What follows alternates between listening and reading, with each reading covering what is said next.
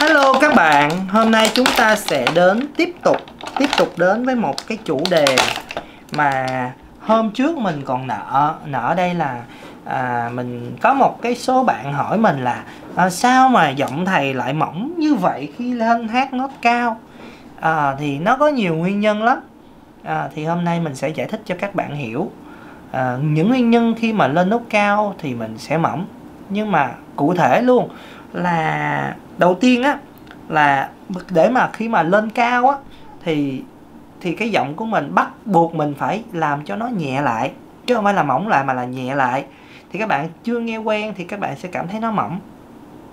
Nhưng các bạn phải làm cho giọng nó nhẹ lại. Nôm na là các bạn sẽ giảm đi cái chest voice, cái giọng ngược lại, giảm bớt. Tăng cái giọng head voice và mid voice lên thì lúc đó là cái giọng của bạn phải thì nó mới lên cao được. Đó, chứ các bạn mà sử dụng giọng ngực rồi giọng chúng ta nói chuyện hàng ngày này ở chúng ta kết hợp vào trong những cái nốt cao á thì là fail.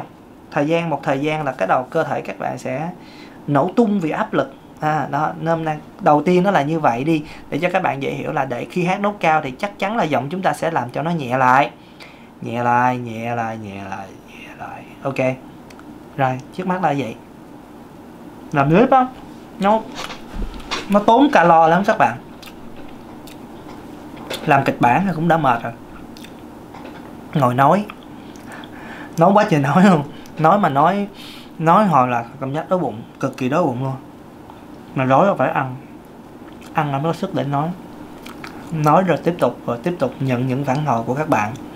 Nhận những phản hồi xong rồi mình lại tiếp tục lên những cái kịch bản, rồi tiếp tục trả lời những thắc mắc cho các bạn để cho các bạn có một cái uh, dỗ để mình học học hỏi và vui chơi giải trí. À đừng có đặt nặng cái vấn đề học tập ở đây quá. Có những kiến thức gì mà thì mình sẽ chia sẻ cho các bạn thôi. Uhm... rồi hôm nay á mình sẽ giới thiệu cho các bạn về đặc tính của các loại giọng và những hay ho của nó. Nghe ghê không? Mỗi loại đặc mỗi loại giọng nó có những cái đặc tính riêng và những hay ho của của các loại giọng này. Hay ho. Có gì hay ho? Nghe đi rồi biết. Rồi.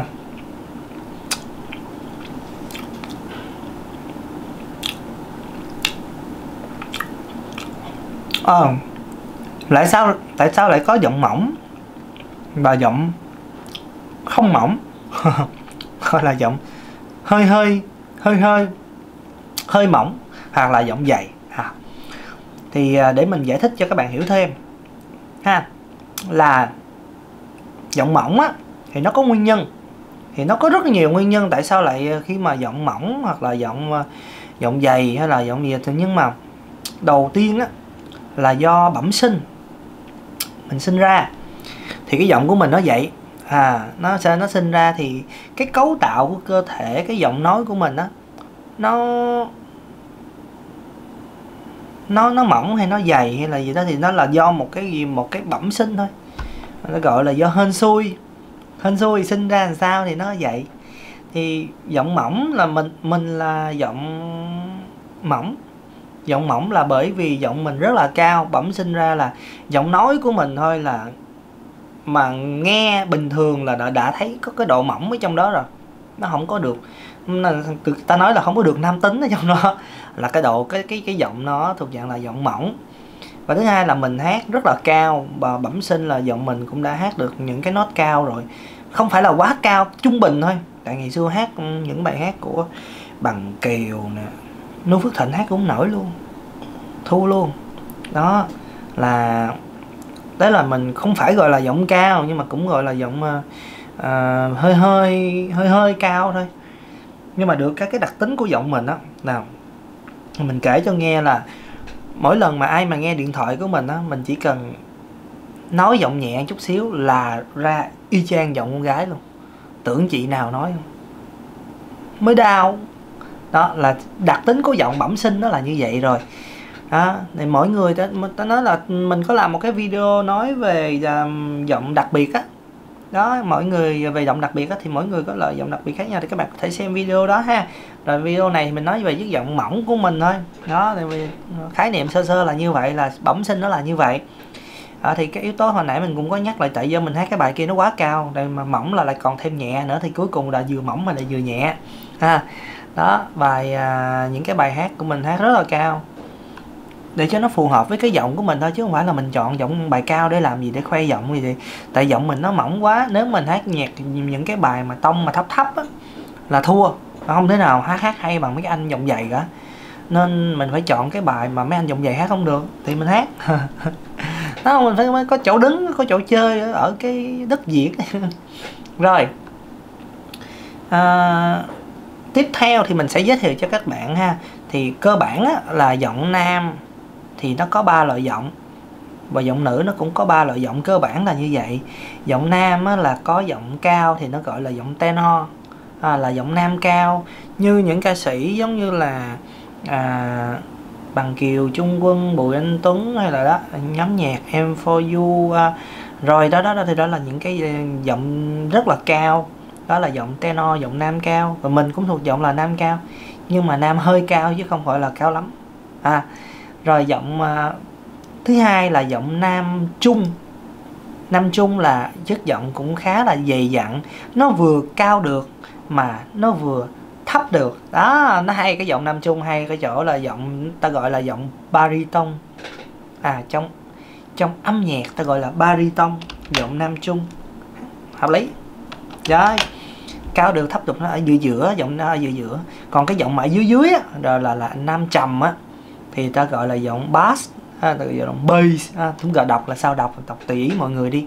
Đọc giọng bass đi cho nó thân thiện nó dễ dễ hiểu với người Việt Nam.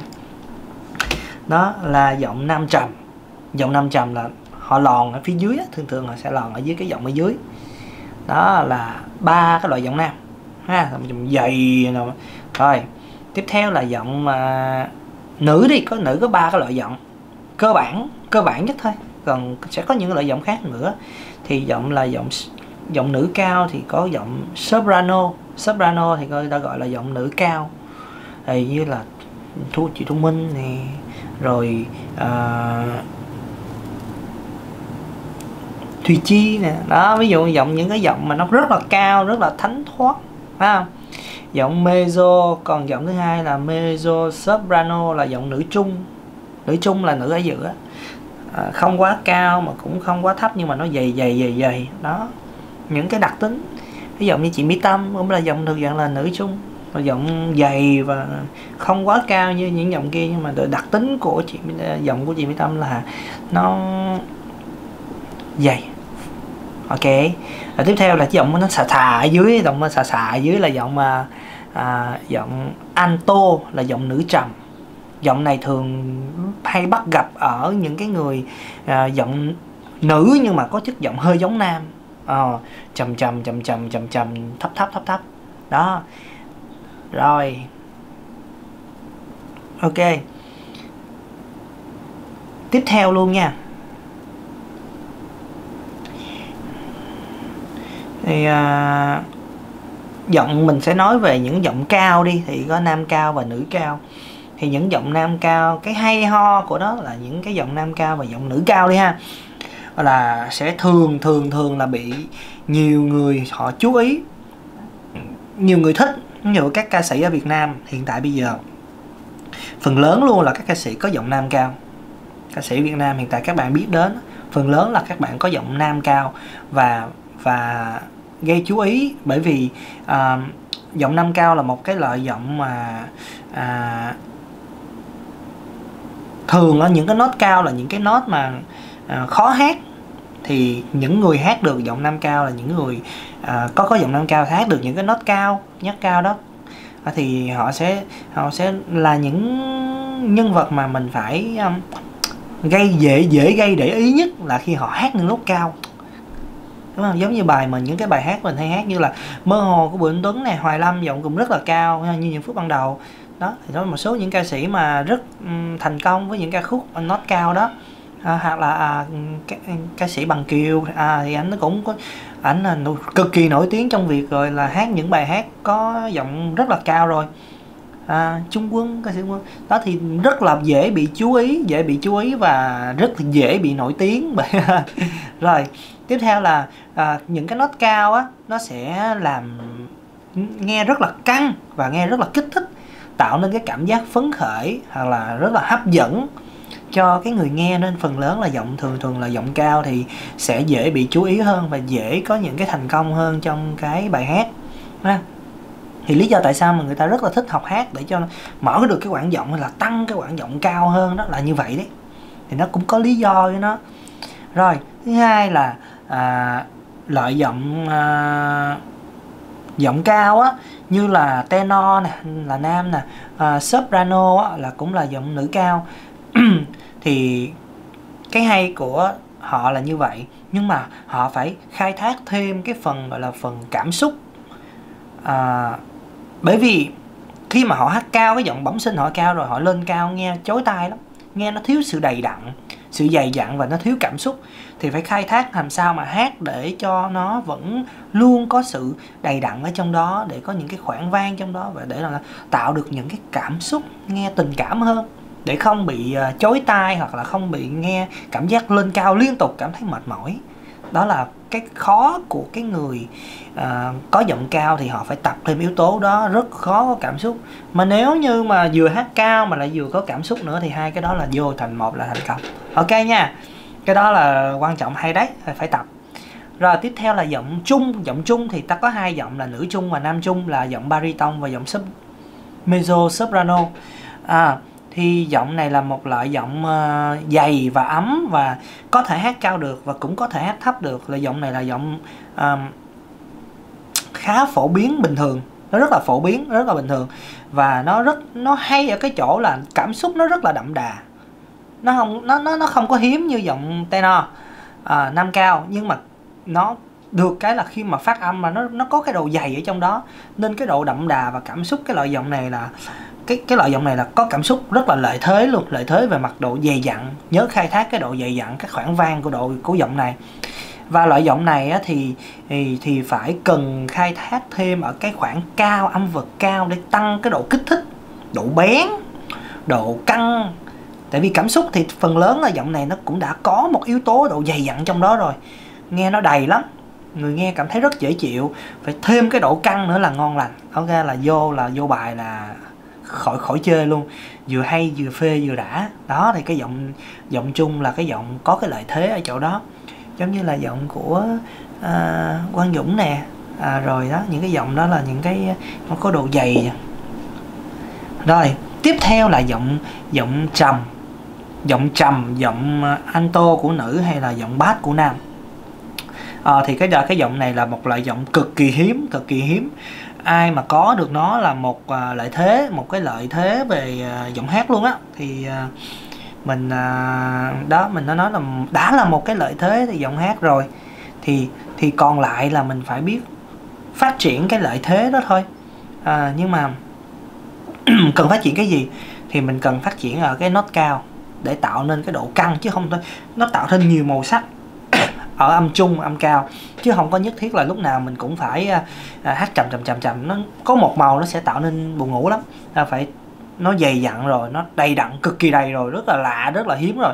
Nhưng mà phải có thêm nhiều màu sắc nữa để cho cái giọng hát của mình nó lấy lấy lấy lòng được phải có lên xuống đồ feeling đó, chứ không có chỉ đơn giản thì phải tập luyện làm sao để mở cái quãng giọng của mình ra.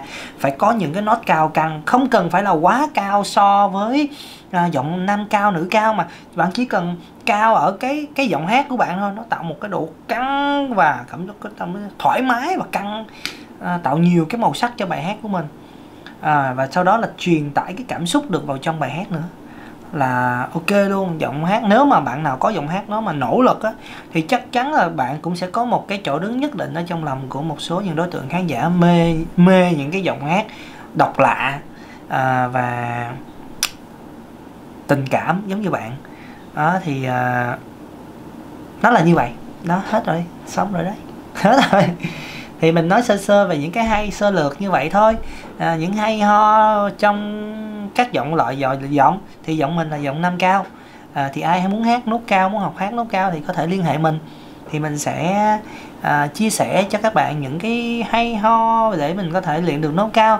À, luyện ai muốn hát được nốt trầm thì cũng đăng ký luôn chung cũng đăng ký luôn ha. Rồi à, nhớ comment những cái câu hỏi nào rồi hay hay sóc sóc mà khó khó chút xíu để à, mình có thể làm kịch bản nó thú vị hơn. Cảm ơn các bạn đã đóng góp à, chúc các bạn luôn vui vẻ và hạnh phúc trong cuộc sống. À, xin chào và hẹn gặp lại. Bye bye. Tạm biệt. See you again.